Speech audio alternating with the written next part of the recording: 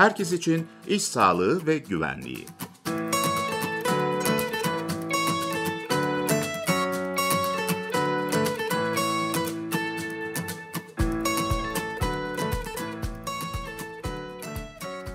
Sevgili dinleyicilerimiz herkes için iş sağlığı ve güvenliği köşemizde güne bakan başladı. Telefon hattımızın diğer ucunda Çalışma ve Sosyal Güvenlik Bakanlığı İş Sağlığı ve Güvenliği Araştırma ve Geliştirme Enstitüsü Başkanlığı Hekimi Doktor Nuri Vidinli var. Sayın Vidinli hoş geldiniz yayınımıza. Hoş bulduk Sesin Hanım. E, kolaylıklar diliyoruz. E, sevgili dinleyicilerimiz bugün değerli konuğumuzla meslek hastalıklarının tıbbi ve yasal tanı sürecini konuşacağız. E, konumuza geçmeden önce çok kısa e, kendinizden bahsetmenizi rica edelim. E, konuşmama başlamadan önce e, saygıdeğer e, dinleyicilere saygıyla selamlıyorum. Ben Doktor Nuri Vidinli. 1971 yılında Uşak'ta doğdum. 1988 yılında Uşak Lisesi'nden mezun oldum. 1996 yılında Marmara Üniversitesi Tıp Fakültesinden mezun oldum. 2004 yılında Japonya İş ve Çevre Sağlığı Üniversitesi'nde Uluslararası İş Sağlığı kursuna katıldım, sertifika aldım. 1996-1998 yıllarında TSK Boyabat Sağlık İstasyonu ve TSK Türkiye'li Sağlık İstasyonu'nda hekim olarak e, çalıştıktan sonra 1998-2002 yıllarında TSK Ankara Meslek Hastalıkları Hastanesi'nde hekim olarak çalıştım. 2002 yılından beri Çalışma ve Sosyal Güvenlik Bakanlığı İş Sağlığı Güvenliği Araştırma ve Geliştirme Enstitüsü Başkanlığı'nda hekim olarak çalışmaktayım. Evliyim, biri kız, biri erkek, iki çocuğum var. Allah bağışlasın Sayın Bidini. Bu arada e, şunu merak ettim aslında. E, meslek hastalıkları üzerine çalışmayı siz mi tercih ettiniz yoksa e, durumlar veya hani olasılıklar mı sizi öyle yönlendirdi? E, ben tercih ettim. E, o zaman meslek hastalıklarının e, ne kadar önemli olduğunu e, demek ki çok yakından e, takip ettiniz ve aslında tam da doğru kişiye soruyoruz biz bu soruları. Bize biraz e, o hastalıklardan bahsetmenizi rica edebilir miyiz? Hangi yönü bu hastalıklara e, üzerinde çalışmaya yönlendirdi sizi? Ee, ilk önce e, göreve SSK sağlık istasyonlarında işe başlamıştım. Hı hı. Doğal olarak o zamanki mevzuat gereği e, işe giriş muayenelerini e, bizler e, yapmak durumundaydık bazı iş yerleri için.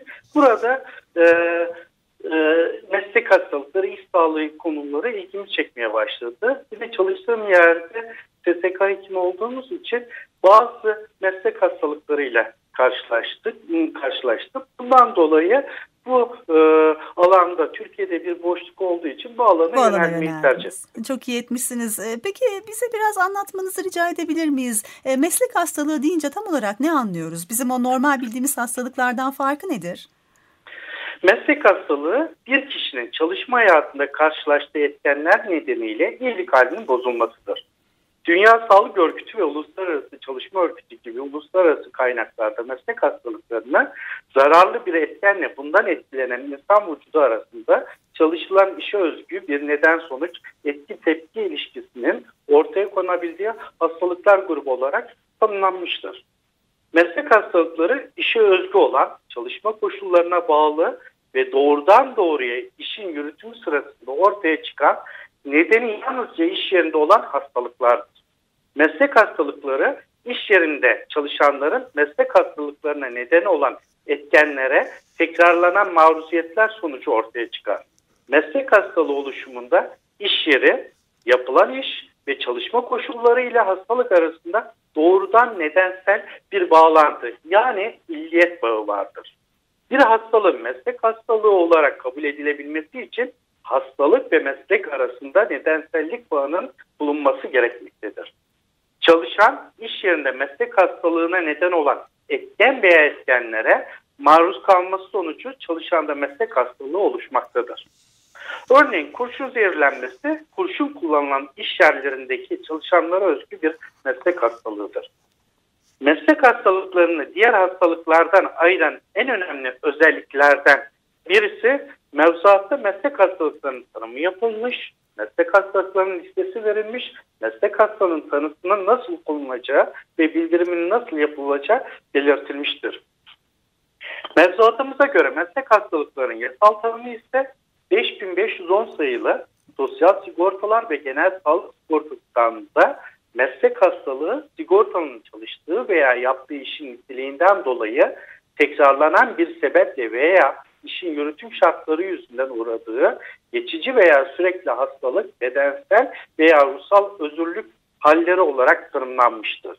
6331 sayılı İş Sağlığı Güvenliği Kanunu'nda ise meslek hastalığı mesleki risklere maruziyet sonucu ortaya çıkan hastalık olarak mevzuatımızda belirtilmiştir. Hangi hastalıkların meslek hastalığı sayılacağı, meslek hastalıkları listesi, maruziyet, yükümlülük süreleri, meslek hastalıkları için yapılması gereken teknikler ve bu hastalıkların hangi işte çalışanlarda ortaya çıkabileceği konusunda hazırlanmış listeler çalışma gücü ve meslekte kazanma gücü kaybı tespit işlemleri yönetmenliğinde belirtilmiştir. Evet tekrarlanan maruziyetlerden bahsettiniz. Yani bu bana e, şunu anlatıyor. Mesela bir kere e, gerçekleşen bir olay meslek hastalığına girmiyor öyle mi? Buradan onu mu anlamalıyız? O e, bazen girebilir ama hmm. genelde o tür olaylar iş kazası olarak nitelendiriliyor. Anladım. Anladım. O tek seferlik olduğunda Tekrar, iş kazası. E, tekrarlayan belli bir süre maruziyet süresi e, e, de olması gerekiyor. Yani hastalığın ortaya çıkabilmesi için e, hastalığa neden olan etkene maruz kalınması gereken en kısa süre e, e, içinde maruz kalınması gerekiyor. Evet kurşun zehirlenmesinden bahsettiniz. Bunun dışında başka örnekler de verebilir miyiz? Mesela pneumokonyoz yapan yani meslek toz hastalığı hmm. yapan tozlara maruziyeti olan evet. iş yerlerde pneumokonyoz hastalığı meydana gelir. Hı hı. Nerelerde? Maden çalışanları da bunu e, çok görmekteyiz. Kaynakçılarda evet. aynı şekilde. Tozlara yani pneumokonyoz yapan tozlara maruziyetin olduğu iş yerlerinde pneumokonyoz hastalığını görmekteyiz. Mesela kaynakçı dediniz ya onların gözlerinde gerçekleşen problem de yine hani ışık ışığın yayılması sebebiyle evet, bu da bir meslek mesela, hastalığı e, mıdır? E, kaynakçılarda e, e, ultra viyole ve kızıl ötesi ışınlar nedeniyle katarak hastalığı hmm. e, oluşmakta gözler. Evet. E, bu meslek hastalıklarının tanısını ülkemizde kim koyuyor? Ülkemizde e, meslek hastalıkları daha önce söylediğim gibi diğer hastalıklardan ayıran en önemli özelliği yasal mevzuatımız. Evet. Ve e, ülkemizde meslek hastalıkları tanısını e, koymakla yetkilendirilmiş e, kuruluşta e, yine mevzuatımızda tanımlanmıştır. Sosyal sigortalar ve genel sağlık sigortası kanununa göre sigortanın çalıştığı işten dolayı meslek hastalığına tutulduğunun Sosyal Güvenlik Kurumu Başkanlığınca yetkilendirilen sağlık hizmet sunucuları tarafından usulüne uygun olarak düzenlenen sağlık kurulu raporu ve dayanağı tıbbi belgelerin incelenmesi Sosyal Güvenlik Kurum Başkanlığı'nca gerekli görüldüğü hallerde iş yerindeki çalışma şartlarına ve buna bağlı tıbbi sonuçlarını ortaya koyan denetim raporları ve gerekli diğer belgelerin incelenmesi sonucu TGK Meslek Hastalıkları Sağlık Kurulu tarafından tespit edilmesi zorunludur. Evet. Ülkemizde meslek hastalıkları tanı ve tespitini yapmakla e, SGK Meslek Hastalıkları Sağlık Kurulu yetkilendirilmiştir. Evet tanı ve Yasal meslek hastalıkları tanısında e, SGK Meslek Hastalıkları Sağlık Kurulu koyar. Evet. E, peki Sosyal e, Güvenlik Kurumu Başkanlığı'nca bir sağlık raporu e, e, düzenlendiğinden bahsettiniz. Sağlık Kurulu raporu. Bu kurulu bu raporu e, düzenlemeye yetkilendirilen e, bazı sağlık hizmet e, sunucuları yani yetkili sağlık kuruluşları da var muhakkak değil mi? Her yerden alamazlar evet. bu raporu. Evet. O konuda bilgi verir misiniz? SGK e, meslek hastalıklarının tanısının e, konulabilmesi için SGK tarafından yetkilendirilmiş sağlık kuruluşları, sağlık hizmeti sunucu hastaneleri e, tarafından e, mevzuata uygun şekilde sağlık kurulu raporu düzenlenmesi e, gerekmektedir. E, çalışma gücü ve meslekte kazanma gücü kaybı oranı tespit işlemleri yönetmenliğine göre Sağlık Bakanlığı Meslek Hastalıkları Hastaneleri Sağlık Bakanlığı Eğitim ve Araştırma Hastaneleri ve Devlet Üniversitesi hastaneleri yetkilendirilen sağlık kuruluşlarıdır. Bu yetkilendirilmiş hastaneler meslek hastalıkları ile ilgili hastalıkların bir tanısını koyarlar ve mevzuata göre sağlık kurulu raporunu düzenler. Evet e, tabii bu listeden anladığım kadarıyla e, özel kurumlardan alınan raporlar geçerli değil. Geçerli değil. Değil mi? E, peki Hatta özel üniversite hastanelerin vermiş olduğu e, sağlık kurulu raporu da işlem alınır. o da işleme alınmıyor. Peki bu sağlık kurulu raporunda e, tek imza, üç imza gibi bir durum var mı? Bak, e, mevzuatta e, bunlar e, belirtilmiştir.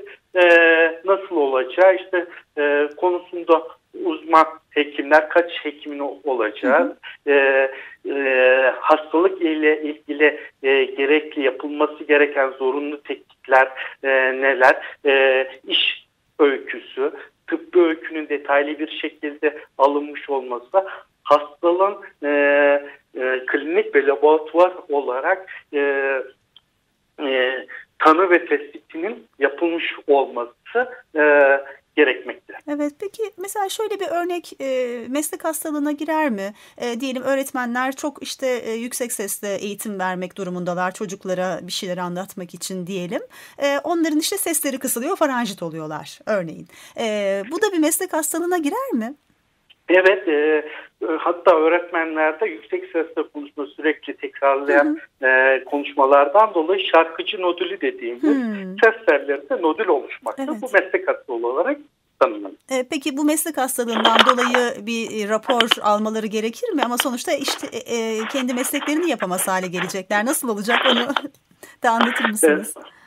Tabii e, bu kişi bir hastalık ortaya e, çıktıysa eğer e, hastalığın o şarkıcı nodülü dediğimiz ses tellerindeki oluşan nod, e, nodül e, yaptığı işle illiyeti kurulduğunda meslek hastalığı tanısı alır.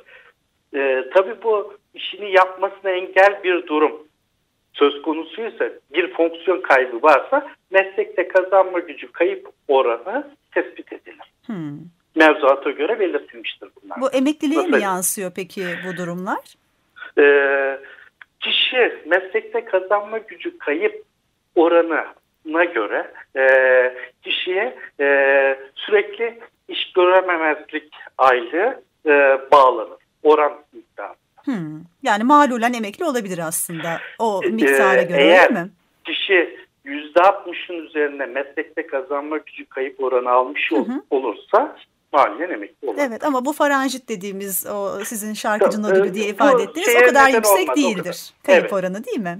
Ee, Evet. anladım. Şimdi madem bu Hangi tanıdan... hastalıklarda yaşa Buyurun. göre ve e, hastalığın durumuna göre ne kadar meslekte kazanma gücü kayıp oranına neden olduğu e, e, mevzuatta e, listede belirtilmektedir. Evet, e, tanılardan bahsettik. Biraz daha detaylı anlatmanızı rica edebilir miyiz? Çalışanlarda bu meslek hastalığının tanısı nasıl konuluyor? Ee, çalışan meslek hastalıklarına neden olan etkene veya etkenlere iş yerinde, çalışma koşullarında veya yaptığı işte maruz kalarak hastalanmaktadır. Çalışan da meslek hastalığının oluşabilmesi için meslek hastalığına neden olan etkene veya etkenlere hastalık edecek düzeyde ve sürede çalışanın maruz kalması gerekmektedir.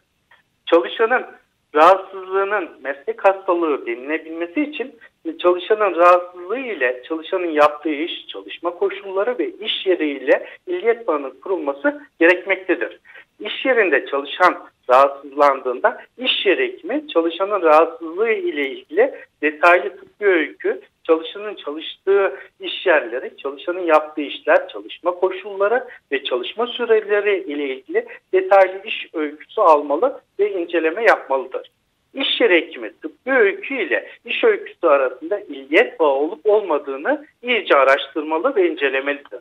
İş yerine meslek hastalığına neden olabilecek etken veya etkenler ile ilgili iş yeri ortamı, iş hijyeni ölçümleri yapılmalı ve incelenmeli. İş yeri risk analizi ve değerlendirmeleri incelenmeli. Çalışanın meslek hastalığına neden olabilecek etken veya etkenlere maruz kalıp kalması incelenmelidir.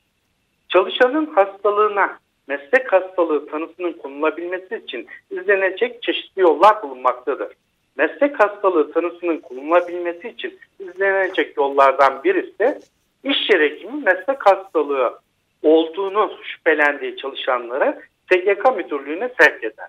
veya çalışan kendisi hastalığın meslek hastalığı olduğu iddiası ile SGK müdürlüğüne başvurur. SGK müdürlüğü iş müfettişleri veya SGK müfettişleri tarafından çalışanın meslek hastalığı ile ilgili iş yerleri ile ilgili e, tahkikat raporu düzenletir.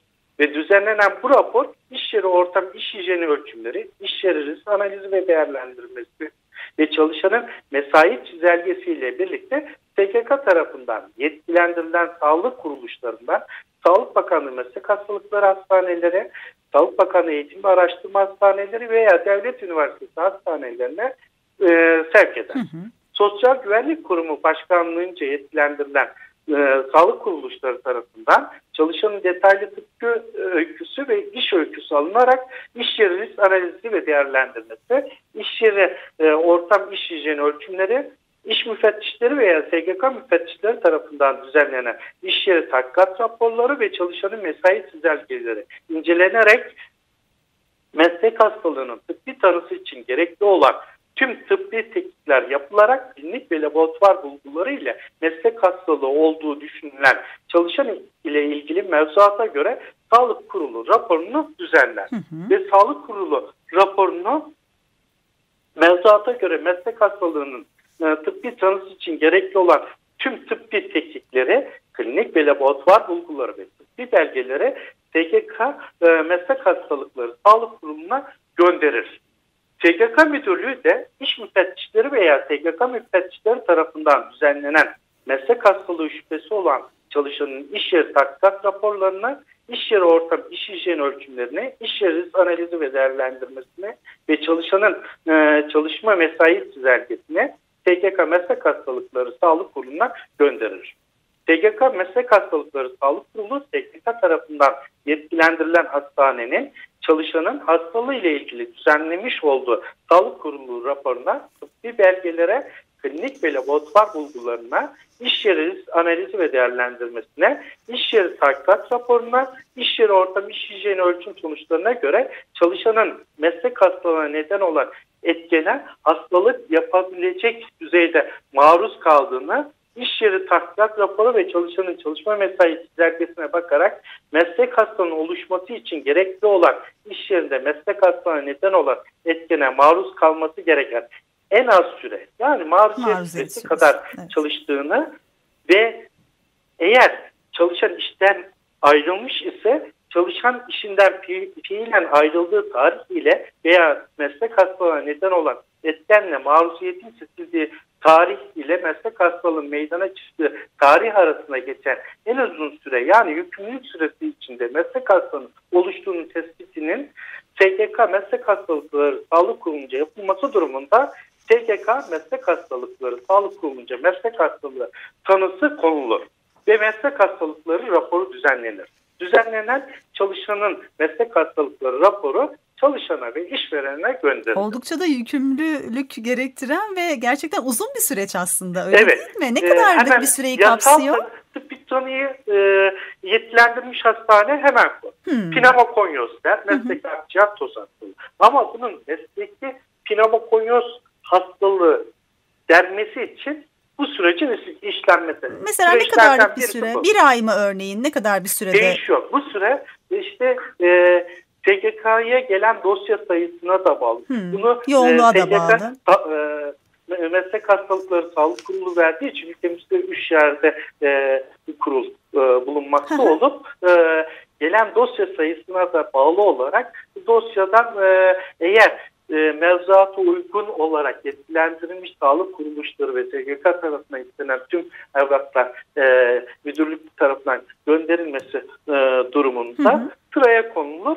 E, sırada e, e, meslek e, hastalıkları e, sağlık kurulu SGK'nın e, e, dosyayı değerlendirerek hastalığın meslek hastalığı olup olmadığına evet, karar verir. Başka yollar var mı örneğin e, bu tanının konulabilmesi için? E, kişi hastalandığında bildiğiniz gibi ya iş yeri hekimine veya aile hekimine veya devlet hastanesinde veya özel sağlık kuruluşunda çalışan hekimlere müracaat eder.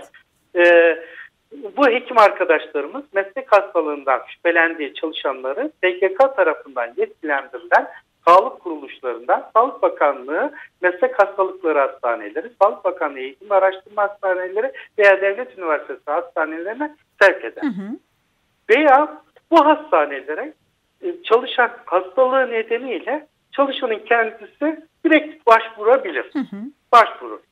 SGK tarafından yetkilendirilen sağlık kuruluşları tarafından çalışanın detaylı öyküsü ve iş öyküsü alınarak iş yeri risk analizi ve değerlendirmesi, iş yeri ortam, iş hijyeni ölçümleri, bazı iş müfettişleri veya SGK müfettişleri tarafından düzenlenen iş yeri tahkikat raporları ve çalışanın mesai çizelgeleri incelenerek e, ve meslek hastanın tıbbi tanısı için gerekli olan tüm tıbbi teknikler yapılarak e, klinik ve laboratuvar bulguları ile meslek hastalığı olduğu düşünülen e, çalışan ile ilgili mevzuata göre sağlık kurulu raporunu e, düzenler. Hı hı. Ve sağlık kurulu raporunu çalışana ve iş yerine gönderir. İş yeri hekimine ulaşan bu rapor e, iş yeri hekimi tarafından e, çalışan SGK tarafından e, yetkilendirilmiş hastanenin raporu ile çalışan SGK müdürlüğüne sevk edilir. Veya çalışan kendi SGK tarafından yetkilendirilen hastanenin düzenlemiş olduğu sağlık kurulu raporu ile SGK müdürlüğüne hastalığının meslek hastalığı olduğu iddiasıyla başvurur. SGK Müdürlüğü müfettişleri veya SGK müfettişleri tarafından çalışanın meslek hastalığı ile ilgili çalıştığı iş yerleri ile ilgili düzenlediği tahkikat raporu ve çalışanın mesai çizelgesi ile birlikte çalışanın SGK tarafından yetkilendirilmiş hastanenin mevzuata göre düzenlemiş olduğu sağlık kurulu raporuna ve mevzuata göre meslek hastalığının tıbbi tanısı için gerekli olan tüm tıbbi tekniklere, klinik ve laboratuvar bulgulara, tıbbi belgelere SGK Meslek Hastalıkları Sağlık Kurulu'na gönderir.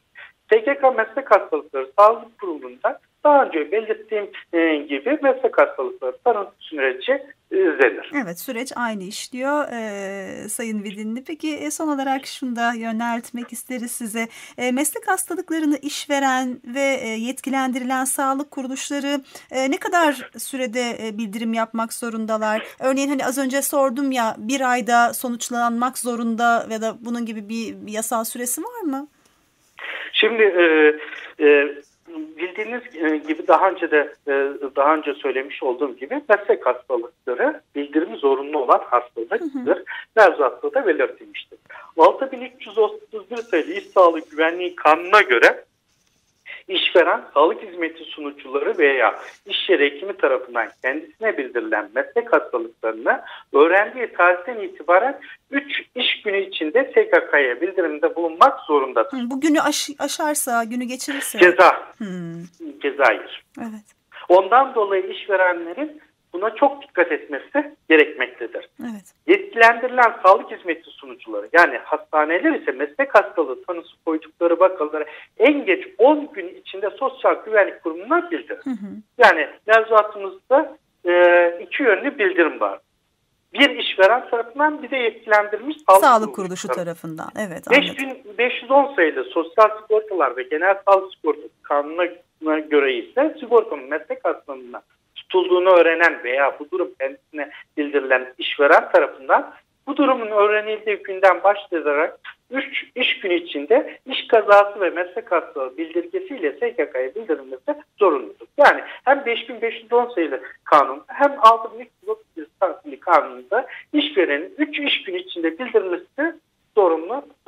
Evet, e, Sayın Bedenli çok teşekkür ediyoruz e, aktardıklarınız için. Hani Allah kimseye meslek hastalığıyla e, sınamasın evet. diyelim ama ne yazık ki yapılan işlerde e, bu tür e, durumlar gerçekleşebiliyor. E, en yakın sağlık kuruluşuna sizin de ifade ettiğiniz gibi yetkilendirilmiş sağlık kuruluşuna e, başvurmalarını e, önerelim biz e, çalışanlarımızdan ve tabii işverenlerimiz de e, onlara da bu üç günlük süreyi aşmamaları konusunda bir kez daha hatırlatma yapmış olalım. Sizin de son cümleleriniz varsa alalım. Ee, unutmayalım ki meslek hastalıkları %100 önlenebilir hastalıklardır. Hı hı.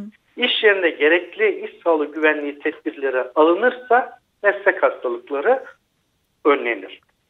Önemli olan meslek hastalıkları eğer oluşmakta olan bir meslek hastalığı var ise de bunun erken tanı, tedavi tespitinin yapılması önemlidir. Evet. Burada çalışanlarımızın iş sağlığı güvenliği kültürünün oluşması, meslek hastalıkları konusunda farkındalığın oluşması önemlidir. Ayrıca hekim arkadaşlarımıza da büyük görev düşmekte. tabii. Onların da meslek hastalıkları hakkında farkındalığın oluşması önemlidir. Muhakkak. Kendilerine gelmiş olan Her hastalara ne evet, iş değil yapıyorsunuz? Detaylı iş öyküsü aldıklarında hastalık ile e, işi arasında bir e, O bağlantı iliyet bağı diyorsunuz ya Evet. o bağ kurması gerekiyor değil mi? Evet. Evet e, çünkü pek Bu çok hastalık geliyor. meslek hastalıkları tanı ve tespit süreci başlamış oluyor. Evet. Eğer o bağı kuramazsa genel hastalık olarak E, e, işlem görüyor. e, evet farklı işlem görüyor. Bu gerçekten doktorlarımızın da çok dikkat etmesi gereken bir durum. Özellikle yetilendirilmiş sağlık kuruluşunda çalışanların. E, siz de bu konuda çok detaylı, çok güzel bilgiler e, verdiniz Sayın Vidinli. Çok çok teşekkür ediyoruz yayınımıza katıldığınız, aktardıklarınız Ben için. teşekkür ediyorum. Kolaylıklar diliyoruz. İyi günler efendim. Sevgili dinleyicilerimiz Çalışma ve Sosyal Güvenlik Bakanlığı İş Sağlığı ve Güvenliği Araştırma ve Geliştirme Enstitüsü Başkanlığı Hekimi Doktor Nuri Vidinli telefon hattımızın diğer ucundaydı. Herkes için iş sağlığı ve güvenliği köşemizde meslek hastalıklarının tıbbi ve yasal tanı sürecini konuştuk. Kendisine bir kez daha teşekkür ediyoruz aktardıkları için.